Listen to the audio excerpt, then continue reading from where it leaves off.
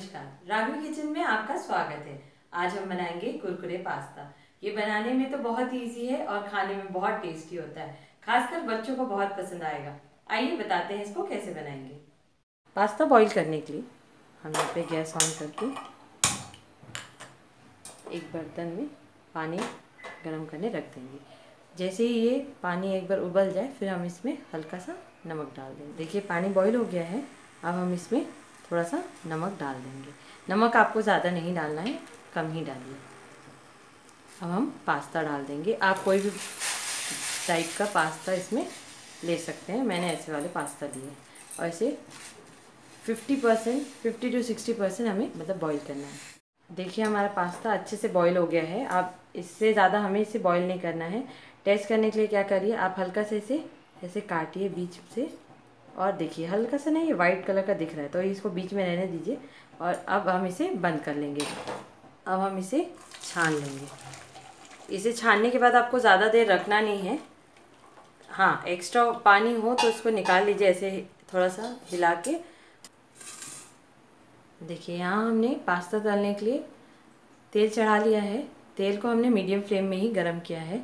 अब हम इसमें पास्ता डाल देंगे। थोड़ा थोड़ा करके आपको पास्ता इसमें डाल देना है।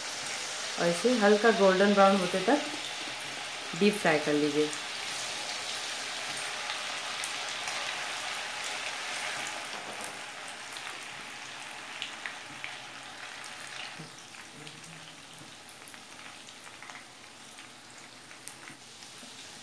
इसका फ्लेम आप मीडियम टू हाई के बीच में रख सकते हैं और इसे अच्छा गोल्डन ब्राउन होते तक आपको फ्राई करना है। देखिए, हमारा पास्ता ऐसे गोल्डन ब्राउन कलर में चेंज हो गया है। अब हम इसे निकाल लेंगे।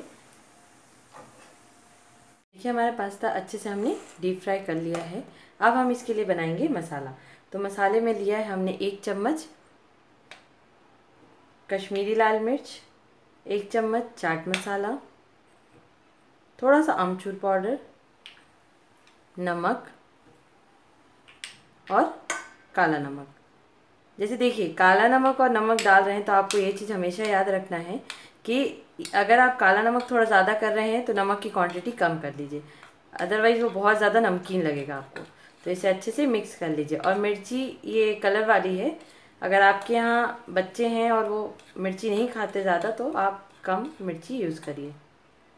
ये मसाले को इसमें अच्छे से डाल देंगे। अच्छे से डाल दीजिए। और अच्छे से मिक्स कर लीजिए।